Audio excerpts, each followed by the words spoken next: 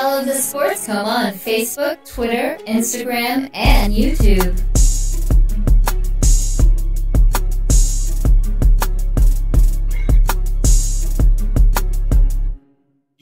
You're listening to the Sports Coma with Big Q and the guys on the PRO Media Network.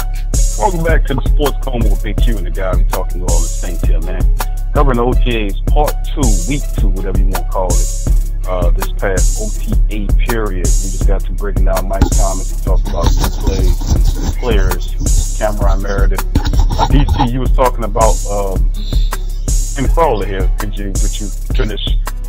Actually, I'm talking about Patrick Robinson um, and him playing at number two. We actually tried that before when he was uh, a Saint prior to being a Saint now, you know.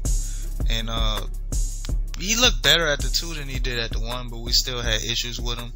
But uh, what Philly was able to figure out that he played very well in the slot.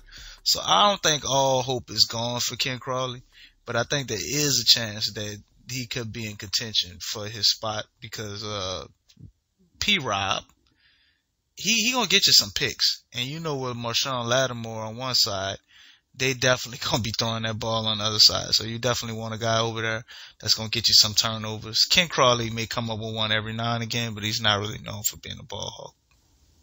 Well, that's something we talked about off break, and that's that's one of the things that we're going to get into as one of the topics we're going to talk about is Patrick Robinson's role here. Of course, you know they signed Patrick Robinson to a multi-year deal worth about 20 million. I think 10 million of it Four guaranteed. years, so he, right, he got so he it was five million dollar signing bonus. So Patrick or P. Rob as he's called, is a guy that comes back here. The Saints put up good money for him and Kurt Coleman. So the when the on the everybody line, always want to come home with us, huh? uh, I guess it's good to come home when you got this kind of cooking and this kind of atmosphere out here. But uh, like I said, Patrick Robinson and Kurt Coleman, two very interesting secondary signings because they bring veteran leadership to a very young uh, secondary. And uh, they spent good money on both these guys. 18 million for Kurt Coleman, 20 million for Patrick Robinson.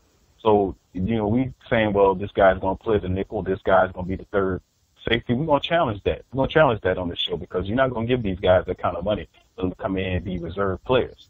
So these guys are getting paid this kind of money to come here and make an impact. But we're going to talk about that later on. Let's finish talking about some of the other guys doing the OTAs.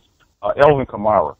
See Alvin Kamara looks pretty good. We watched some footage on him, watched him run around out there in OTAs. He looks a little heavier to me.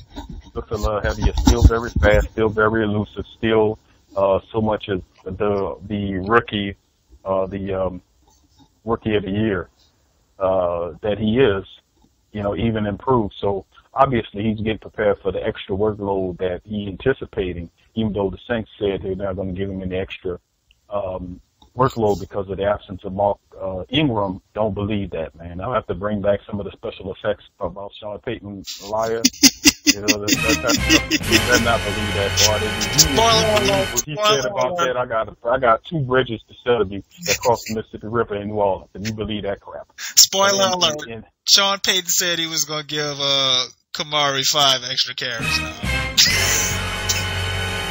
That's what I've been hearing. About five extra. Five extra. You know, but Yeah, they were right. uh, they were saying, uh, will he get the full fifteen? I really think he's not lying. I don't think he's gonna give him Mark Ingram full fifteen carries. But um Alvin Kamara is definitely gonna get a shot for at least four weeks to be the guy. Um we've never had a running back like him in the in the Saints building, period. You never had a do it all guy, uh basically a complete back other than what, Adrian Peterson? and he was probably you know on the wrong side of 30 so you got a few other guys that's to get some touches like B. Scott um, Jonathan Williams uh, Trey Edmonds uh, Daniel Lasco. They got to figure out how they're going to do that with all them guys.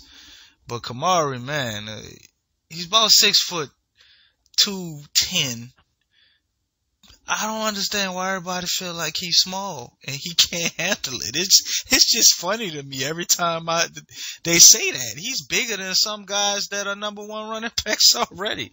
But for whatever reason, everybody thinks he's small and he can't take a pounding and he can't do this and he can't do that and all he does is line up and play.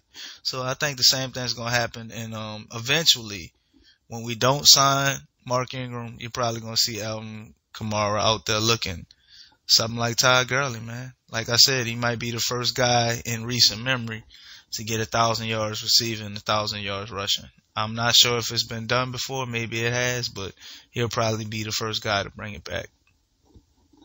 Well, I mean, if if that's the case, of course we know about the fact that uh, what Alvin Kamara could bring to this, to the Saints. Uh, looking at some of his statistics from the previous year, rushing wise, 120 attempts, 728 rushing yards, averaged about six yards a carry.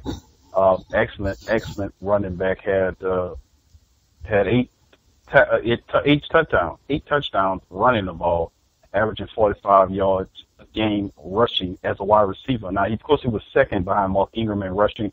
That goes as far as the wide receiver go. He was second uh, on the team in catches, behind only the great Mike Thomas, who had 104. This guy had 81, 81 catches for 826 yards, averaged 10 yards a catch, had five touchdowns. Can you Uh, imagine how much more efficient he could be as a receiver if we had more wide receivers? Yeah, we're gonna get an opportunity to see that DC because man, you had uh, Cameron Meredith, you had Trey Tre'Quan Smith to the mixture. Hey man, we're gonna see an opportunity to see how great Alvin Kamara is with I all of the pressure off these wide receivers. yeah, Drew Drew got just just put that just put three more years on. Drew Probably Brees. he Like, probably about it. Drew probably ain't sleeping, man. Nah, he, he he jumping at the bit to get going, man. I didn't no doubt about it. But let's segue from one running back to another. We went from Alvin Kamara. Let's go to Bo Scott. Bo Scott, of course, Boston Scott, the running back out of Louisiana Tech, draft pick for the Saints. Uh, they took him in the sixth round of this past uh, NFL draft. And he's a, a guy a lot of people, including DC, compares to Darren Sproles. I think DC even went as far as to con- saying that he could be uh, uh, close to Pierre Thomas. I haven't heard anybody. I, I. I said, uh, um, he he is Darren Sproles, but yeah, I did compare him to Pierre Thomas because a lot of people don't know about Boston Scott. Is he's incredibly strong, and unlike Darren Sproles, he's not looking to run around you. People people don't realize that about Boston Scott, but they're gonna learn. He has leverage. He runs like a little bowling ball. He can run you over, but he can shake you. So to me, he was like a a, a mixture between uh, Pierre and Darren Sproles by him being excellent in the screen game and the type of role that he's probably gonna get is gonna be similar to Pierre Thomas instead of the Darren Sproles role, which Alvin Kamara Alvin Kamara clearly already has. Right. It's going to be interesting to see both Scott because he'll get plenty of opportunities based on the fact that Mark Ingram is going to be out for the. Would it be funny to have four, uh, four weeks? a power back that's five eight? It would be. There was a guy that the Saints had a couple years ago. Remember, He runs really good up the middle though, man. That's what people Who's don't know about guy? He runs good inside. There was a, run, It- a running back the the Saints had two years ago. But uh, actually, it was last. Oh, I remember that that little short guy who was uh moving. The short guy was the Yeah. bowling ball. Yeah, he was a little bowling ball. And Yeah, then I between him and Tremont Edmonds. Trey, Trey, uh, Trey. Edmonds, and they ended up picking Trey over him. And I was like, why did you guys not get that little bowling ball back? I forgot. I'm gonna look up his name. I Jonathan, remember the Jon- guy. I think it was similar to the guy we got on the team now. It was Jonathan something. I remember his first name was Jonathan. I don't remember his last name. I don't know where he wound up going. But I think that's all he could do though. He wasn't um he wasn't picking up the He black machines. He couldn't catch the ball out the backfield. Like, you know, he just had that one thing. You know the Saints don't really like that. You gotta be multi talented over here. Yeah, that's definitely a prerequisite for hanging around with this team, no doubt about it. But Bo Scott looking for a lot of big things from Bo Scott uh, moving ahead. Uh, taking a look at the uh, sheets, dealing with the Saints. Uh, next move, we're gonna talk next topic. We'll talk about Patrick Robinson. We're gonna go into that because we talked about Patrick Robinson before. We touched upon it, but Patrick Robinson's addition to this team brings a very interesting perspective. Uh, a lot of people say Patrick Robinson will come in and be the third cornerback um, to, you know, behind obviously Marshon Lattimore and Ken Crawley before you walk it. When it comes down to it, we look at it and say, well, let's investigate this a little further, DC. Me and you talked about this off break. You talked about this prior to the show. Very deep discussion on it. Patrick Robinson role, in my opinion, looking at the money that they paid him, they gave him four year deal worth twenty million with ten million of it guaranteed. You don't give a third string running back that kind of money and say, Well, you're gonna be our nickel guy. I think that the Saints I think that Patrick Robinson with his skill and his ability, his smarts, his uh, his ability. Right now, he's a better cornerback than Ken Crawley. Maybe down the line, Ken Crawley could surpass him. But right now, in my opinion, I think that he is a better cornerback than Ken Crawley. I think you agree with me on that. This is the question. Patrick Robinson, I say when it starts, Patrick Robinson will definitely push to take Ken Crawley's job. What you say about that? Um, I definitely think he's going to try to push, but I have to disagree. I don't think it's going to happen. Um, Patrick Robinson. There's Victor. Darius Victor is Dar- the name oh, was Darius Victor? Oh man, I was way off. Darius. Victor. Well, I got Jonathan. The name. All right, Okay, go ahead. but uh, yeah, I, I don't think it's going to happen. Uh, Pat, Patrick Robinson is perfect in the slot, so I don't see why you would want to mess that up. Um, and you probably won't want to overuse him on the outside. Maybe he gets some plays on the outside depending on matchups. Um, what receivers we're playing against. If we're playing a guy that's too fast for Ken Crawley, maybe we put Patrick Robinson out there. If they're playing a guy that's big, you put Ken Crawley out there. He's obviously bigger. He's more physical. Um, Ken Crawley is a very good cornerback. And I think as usual, the Saints are ahead of the curve. We've been implementing slot receivers before they were popular. And now I think the new phase in NFL is you basically have to have three starting cornerbacks. So as usual, I think the Saints are just ahead of the curve. We paid a guy and then he got 20 million, but I mean, come on, man, it's over four years. You know what I'm saying? That's probably the same money. Ken Crawley would probably get the exact same deal. Marshon Lattimore is the only guy that's gonna get super paid back there. Um, and that's five million dollars a year. So it's it's not a lot of money uh, in the grand scheme of things, and I don't think he he does enough to overtake uh, Ken Crawley at the second position because, as you know, Ken Crawley isn't great in the slot. So why would you why would you mess that up? I don't know. I think Ken Crawley could be a pretty damn good slot man. You know, I think I think he has the ability to play the slot. He's big, he's physical, and I think his skills kind of lend him to playing the slot position. Uh, but Big you know, and physical it's- ain't what you want in the slot though. You want you got you want quick and he- you want quick twitch and fast. he he has speed to play the, the the cornerback position in the slot. He has the speed. He has the physicality because still you want twitchy and twitchy, but you still got a guy that can put hands on him and be physical with him in the slot. And Ken Crawley does have the attributes to be able to lend him to playing in the slot position. The thing is, why I say what I say about Patrick Robinson overtaking him in that uh, uh, in overtaking him is that you know, I, I, like I said, I like Ken Crawley. I think Ken Crawley came from a long way off to become the solid cornerback that he is, but he makes a lot of lot of stupid mistakes. Too many pass interference. He holds entirely too much. If you want to hold, be a little bit more slick with it. Study some take on Deion Sanders or whomever the guy that's, that's usually putting their hands on guys, being physical with them, but know when to take the hands off the guys, not holding them and putting your arms around. He does a lot of boneheaded plays that really kind of get you pissed with him. But but he's a he's a solid cornerback to me. 54 total tackles on a on a season. Got one interception last year. Very commendable numbers for Ken Crawley.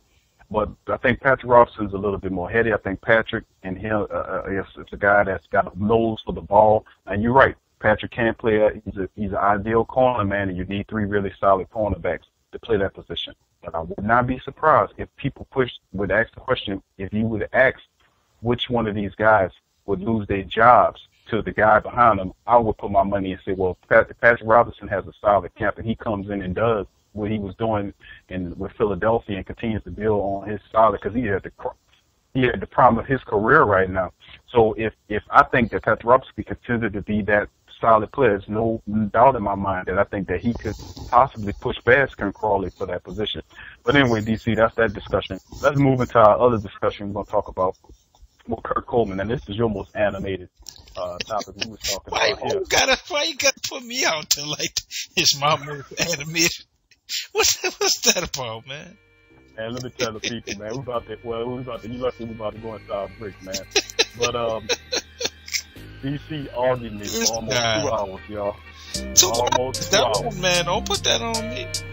He argued me about two hours. Come on, y'all. Who y'all that, brother Longwind is? Me or him? Uh, DC. you definitely won the long-winded award, brother. But anyway, uh,